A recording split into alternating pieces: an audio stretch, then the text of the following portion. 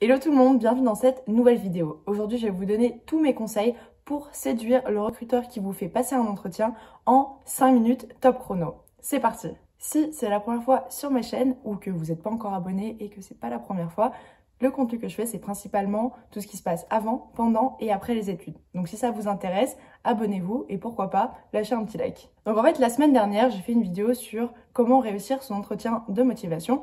Mais c'est vrai qu'avec le coronavirus et les différentes manières de travailler de nos jours, c'est vrai qu'il y a d'autres petites techniques qui peuvent quand même séduire un recruteur sans que ce soit forcément au niveau de la communication et des réponses. évidemment, c'est quand même plus de 70% du taf, mais il y a quand même d'autres petits éléments que je vais vous citer aujourd'hui qui sont pas des moindres, on va dire. Dans un premier temps, il va y avoir une différence entre un entretien en visio ou en présentiel. Si tu fais un entretien en visio, fais attention quand même à ce que la connexion soit bonne, que tu aies une bonne lumière, que tu aies un bon son.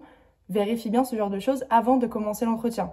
Parce que si tu commences l'entretien, que tu commences à, je sais pas, chercher tes écouteurs, ou je sais pas, même que tu fumes une clope, ou j'en sais rien, que tu es en train de faire autre chose qui n'est pas du tout professionnel, ça passe pas, franchement, ça casse, parce que ça donne déjà cette première mauvaise impression, et ils vont se dire, ah ouais, cette personne-là, elle est quand même aussi comme ça au bureau. Et franchement, les gens comme ça, on n'a pas trop envie de travailler avec eux. Donc voilà, vous tirez pas une balle dans le pied, essayez d'être professionnel et de faire en sorte que tout se passe bien. Aussi très important dans les entretiens en visio, essayez d'être dans un endroit calme, qu'il n'y ait pas de bruit. Parce que si vous êtes dans une station de train, bah c'est pas trop le lieu pour. De l'autre côté, si vous êtes en entretien en présentiel, il va y avoir d'autres éléments que vous allez devoir contrôler.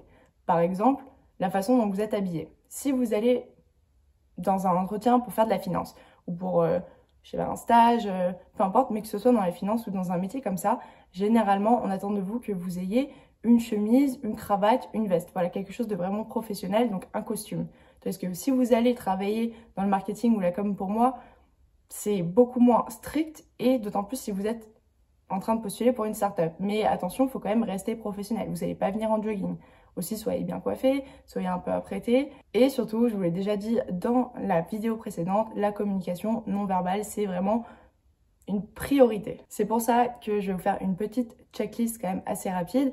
Donc que ce soit pour un entretien en visio ou en présentiel, c'est la même chose pratiquement. On veut pas de tic de stress, on veut une belle posture, une bonne gestuelle, pas trop de signes de tous les sens, mais quelque chose qui accompagne votre discours aussi un beau sourire. C'est des choses qu'il faut maîtriser en général parce que ça reflète votre professionnalisme. Savoir se tenir, le savoir-être, c'est quand même des attributs qui sont quand même pas mal recherchés en entreprise. Enfin, un petit tip aussi, c'est de demander comment le recruteur va au début de l'entretien, euh, le remercier pour cet entretien, pour cette opportunité.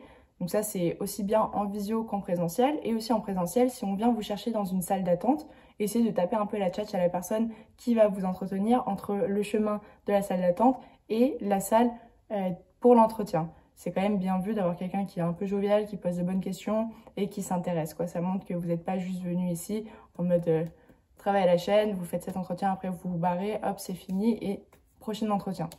Voilà, donc ça c'est vraiment des petits tips quand même assez faciles à appliquer qui vont venir complémenter votre discours. Si vous voulez des conseils pour améliorer votre discours, j'ai fait une vidéo donc la semaine dernière, je vais vous la mettre là et je vous invite à aller la regarder.